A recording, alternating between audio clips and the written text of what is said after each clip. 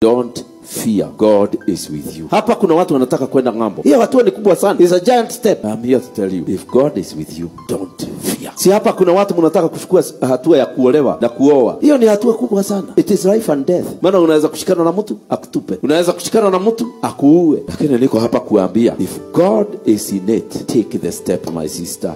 Take the step my brother. Go and do it. Na uoga umechangia shida nyingi sana katika maisha ya binadamu. Unaweza kuolewa kwa sababu ya uoga, alafu unalia throughout your life. Unaweza kuoa kwa sababu ya uoga. Unaweza kukosa kwenda kwa kanisa because of fear. Kuna wakati Mungu anataka umtolee dhabihu, unakataa kwa sababu ya nini? Ya hofu, uoga.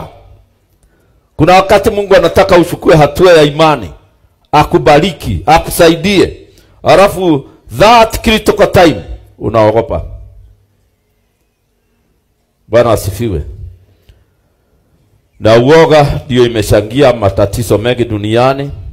Kabla shetani ya kuingiza ugonjwa, ile kitu anakuletea kwanza ni uoga. Unaogopa kansa, unaogopa kansa, unaogopa kansa mpaka unaanza kujifinya mwili kila mahali nafinya unasema ndio hiyo ndio hiyo. Hapo ni ndio hiyo.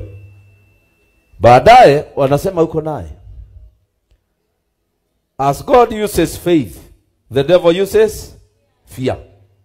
Mungu anatumia imani. Mtu akiamini unaambiwa enda ufanyiwe kulingana na imani yako.